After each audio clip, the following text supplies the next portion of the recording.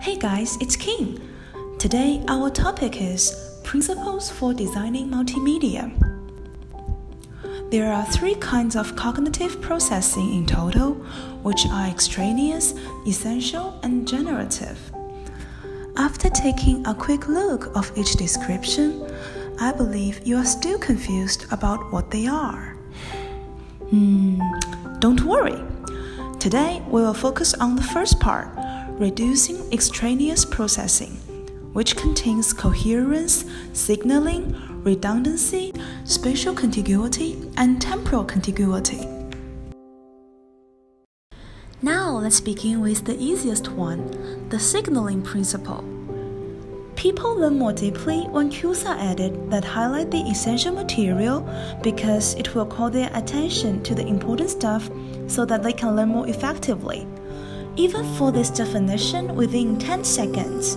After changing the key sentence into red, this little behavior has made a big difference, which can make us understand the principle in a much clearer way.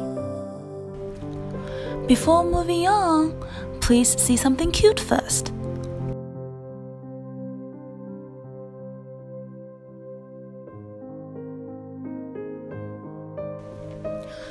Okay, the coherence principle. People learn more deeply when extraneous material is excluded rather than included, so that we are better able to focus on the essential material since nothing else can distract us. Upon watching this motion stop animation, what did you focus on? The main subject? The little girl or the little boy? It happens all the time. When we are learning something new, our teachers and some of the learning platforms always add something not related to the subject in order to arouse our interest. However, it depends on the purpose and the use of the so called extraneous stuff. For example, the background music would be okay. Let's see what will happen if we delete the two children and add the background music.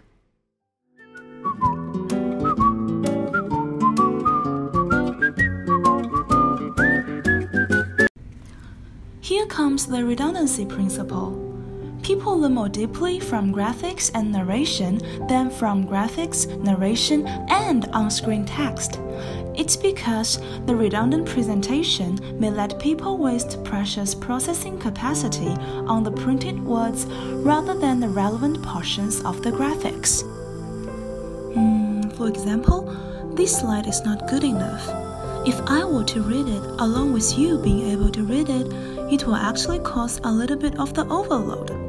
As you were reading it, and I said, Basketball is a limited contact sport played on a rectangular court, while most often played as a team sport with five players on each side. Three on three, two on two, and one on one competitions are also common. Again, it's redundancy. If I only show you the picture, you will be able to learn more because you can focus on the photo while listening to my narrations. You are still using both of your senses, eyes and ears, rather than use them on the same topic. That's a waste.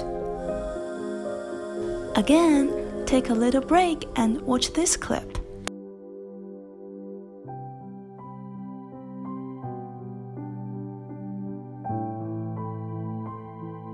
The spatial contiguity principle. People learn more deeply when the printed words and graphics are presented near rather than far from each other on the page or screen. Obviously, it is a bad example. If we want to know what's the ingredient of the flour, we need to see A. Mmm, it's baby carrot. It will definitely waste our time because the words are not near the pictures. Now let's see the good example.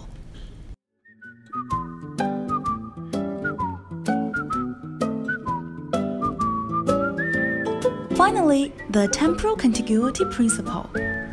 People learn more deeply when the corresponding graphics and narration are presented simultaneously rather than successively, because it helps learners build connections between corresponding words and graphics.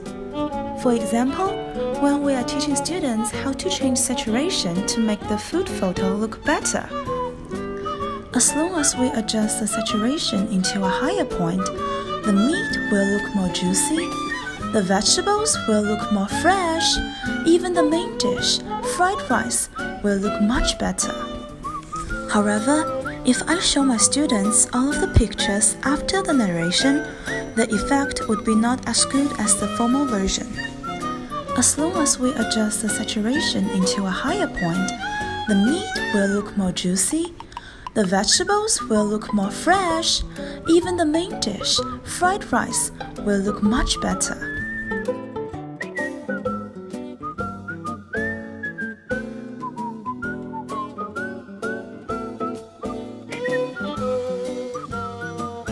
Okay, this is the end for part 1 Reducing Extraneous Processing. I hope you can enjoy my class and see you next time. Bye bye.